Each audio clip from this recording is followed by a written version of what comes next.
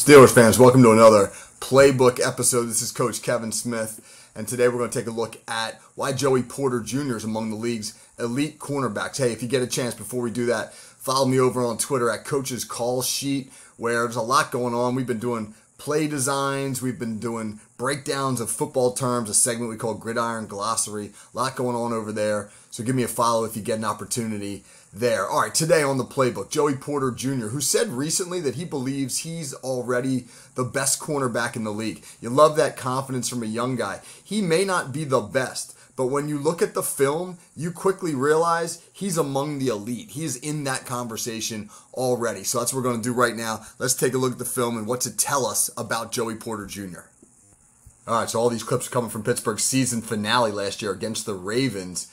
Porter, when he came out of college, was billed as excelling in two coverages. He was a man cover corner. He was a cover two guy. And the Steelers do a great job of showcasing them, him in those schemes. They really tailor their coverage to his strengths. And so we'll look at him in both instances. So here he's in a cover two shell. This is him down here at the bottom of the screen, number 24. Pittsburgh's in a cover two. There's a second safety just out of your screen up here. You'd be able to see the cover two a little easier. And the job of a cover two corner is you are responsible for any flat routes. But if no flat routes show, then you're going to sink with anything vertical. So what Baltimore's going to do here is they're going to show him an in-breaking route and try to get him to bite. They got a little a little eye candy motion here to start to try to get the Steelers to move that way. And then they're going to take this receiver, the number one receiver, and run him on an in-breaking route to try to get Porter to go with it. Because what they really want to do here is they're going to sneak the back out up the sideline on a wheel. Porter's got to be able to get his hands on the in right here and then adjust and get onto the wheel. He almost stays a little too long here. Watch him on the jam as he sinks inside. He's a hair late, hair late getting back out on that wheel, but his length is so uh, important to him. Makes it so difficult for a quarterback to throw over. Right? Look at it. Look at it right here. I'll go a hair further. Right? When you pause it right there, look at Porter close. Right? He had probably that back had a step or two on him at the 30 yard line. We'll run it through one more time so you can see. But by the time you get to the, the contact point at the 40, Porter, Porter has gotten hip to hip, which is exactly where you want to be, and is closed. I mean, again, the back, Porter's in recovery mode right now, and while the back's not technically ahead of Porter, he's in good position because Porter's just turning his hips to run. And that closing speed and that length is integral to him being able to make plays like this, but he also does a really nice job recognizing his coverage responsibility. Hands on, sink, run with the vertical, make a play. Here's another cover two rep. This is Porter down here at the bottom of the screen and same responsibility. He's got anything that shows in the flat, but he's got to carry anything vertical first. So Baltimore's going to run kind of a classic cover two beater where they're just going to take the outside receiver and run him vertical and now the back here into the flat. So when Porter sees the back come, he's going to release the vertical route. And this safety now, it's his job once Porter releases. So you'll see Porter sink and now he's going to come up when the flat route shows, and now this safety's got to get over and take the vertical. So it's really important for the corner to be able to sink far enough with the vertical route to close that window, right? The, the cover two window is, is kind of like right in here between where the corner closes on the flat route and the safety gets over. Corner's got to close that window, but he can't sink so far that he gives up the flat. And you'll watch here as Porter does this really perfectly. He gets his hands on zone turn. I'll talk about that in a minute. As soon as he sees the flat route, he reacts. Bad ball here by Tyler Huntley, the backup quarterback in Baltimore. But obviously, you see Porter quickly. You, Right here, he's recognized that Huntley, uh, that a flat route is showing and he's done a good enough job of sinking with the vertical so that if Huntley wanted to fit that thing in, right? The safety's right here. You really can't see the safety, but the safety's got only about 10, 12 yards to cover uh, because Porter's done a good enough job carrying this vertical that Huntley can't throw the ball early.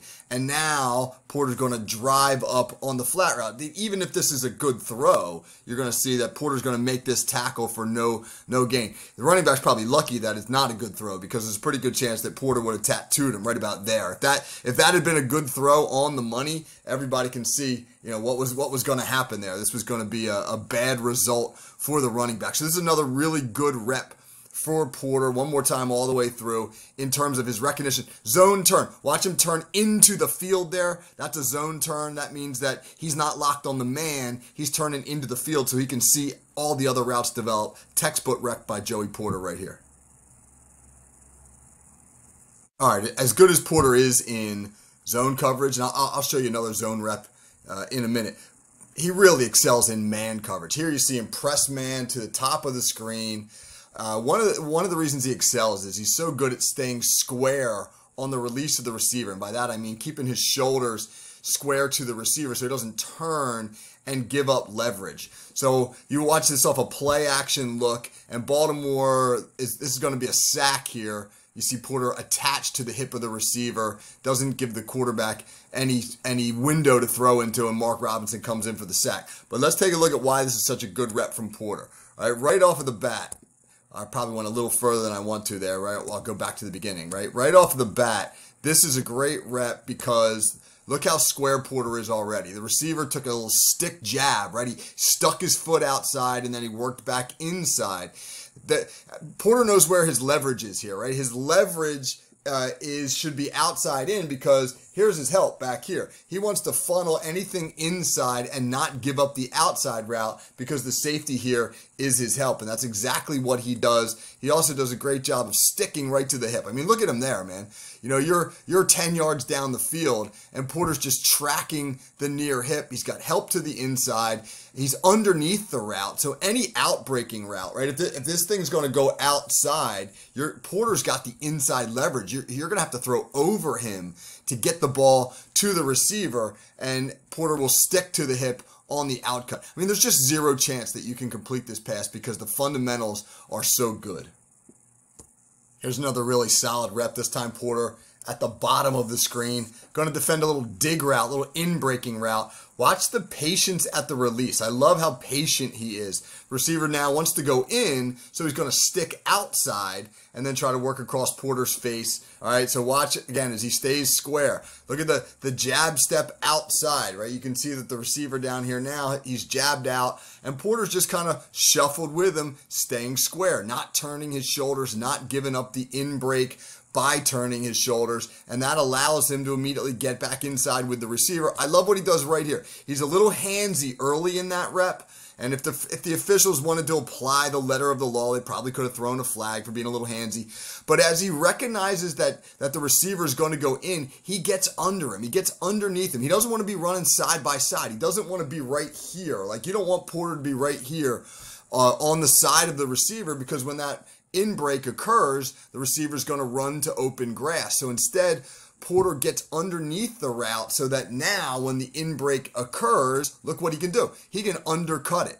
And this is not where the football goes, obviously, but if it was going to go there, there's zero chance this would be completed because Porter's actually under the route. Porter's in a better position to catch the football than the receiver is. So he gets leverage, he's patient, he knows when to get his hands off for the most part. But man, he really understands where that route's going to go and he anticipates it and puts himself in position to make plays. Here's one more rep in man coverage. Back to the top of the screen now. Uh, on this one, another another in breaking routes. Teams better just knock it off with the in breaking routes because you're not hitting them against Porter. Same thing, patient at the line of scrimmage, and then he'll get underneath the route as it breaks in. Right, hands on, under the hip. He actually anticipates the in cut and gets inside the receiver. You see him do that little pirouette to regain the better position. I'll pause it up there in a second, right? Watch him right here. He's inside the receiver. He knows really where this route's going to break. If it's going to break outside, he can get under it and use his length to make the QB have to throw over him. And if it's going to break inside, well, again, he's going to be in better position to catch the football than the receiver is. I like that move right there, where he sort of pirouetted around and, and look at him reaching out right there with his right hand, right? You see him with his right hand here, just to sort of feel for where the receiver is. All right, what he was doing there was he was getting his head back to the ball quickly and, and you know, anticipating a throw from the quarterback. But this is in breakdown mode, and they're going to wind up throwing it away. So, again, zero chance that you can complete the pass to the man Porter's covering. I said I'd show you another zone rep.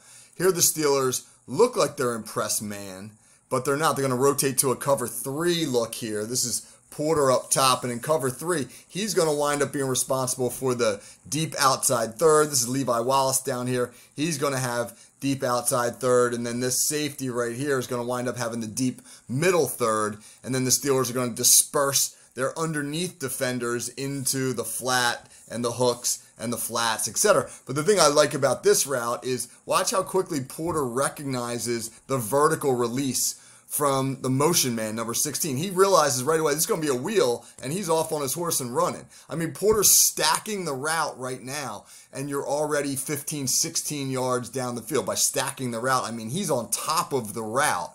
He knows that this is vertical, and there's no way for you to complete this thing over top of him. He recognized that pretty quickly, by the way. Watch again as we go from the top. Uh, watch how quickly he turns and bails and runs. Now, granted, he's got to get into a deep third right? He's got he understands that I've got I've got to get I'm I'm here right now and I'm responsible for anything deep and vertical and this guy's already turned and wheeling, but he recognizes really really quickly that's going to be a vertical concept. So he's not he's not sort of sitting on an outcut or anything like that. He's this is probably film study. You know, I don't know exactly what he sees or what or what he saw in his film study, but you're going to get a post and then the wheel up the sideline. And that's probably something he recognized that allowed him to get an early jump on the route. But again, once again, zero chance you're going to catch the football if you're throwing it in Joey Porter's direction.